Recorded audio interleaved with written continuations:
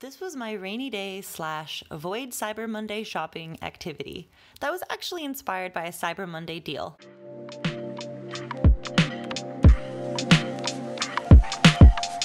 The item was a set of glass jars hanging from twine that you could put tiny plants in.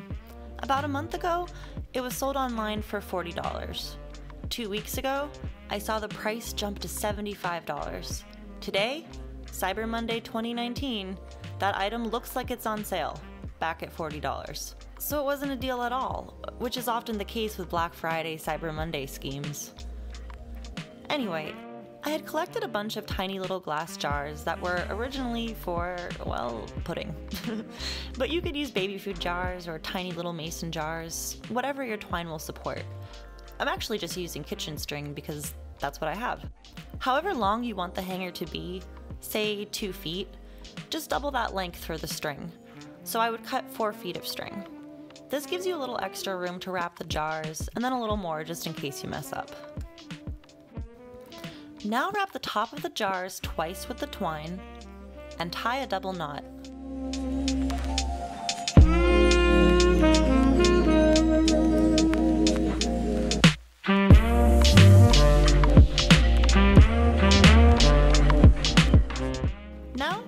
How far apart you want the jars.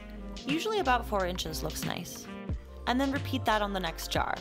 It might take you a couple tries to get the hang of it, so don't knot your jars too tightly until you know they're in the right position.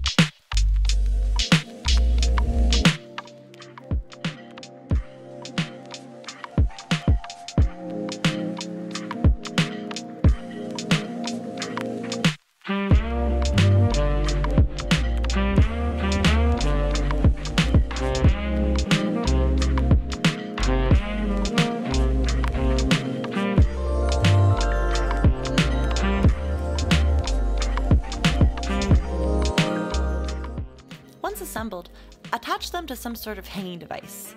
This thing was once a part of a fryer. But you could even use a coat hanger.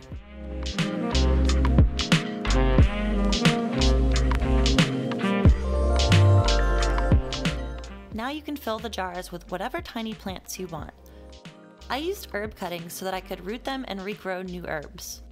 You can actually do this with many different types of herbs like basil, mint, rosemary, thyme, I'm even using store-bought mint that was pretty wilted, and I'm fairly confident that I will get it to grow back. I've done it before. Now before I place the plants in the water, I scrape off the skin from the bottom of the stem. That seems to help stimulate the roots to grow.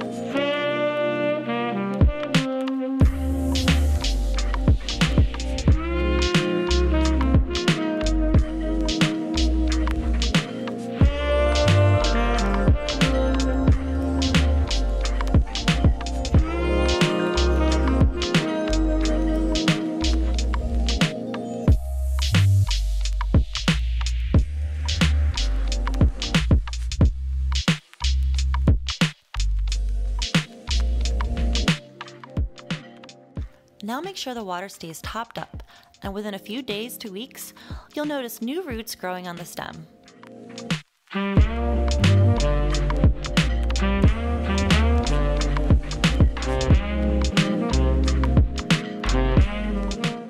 Once established, plant it in moist potting soil and grow per your usual herb instructions.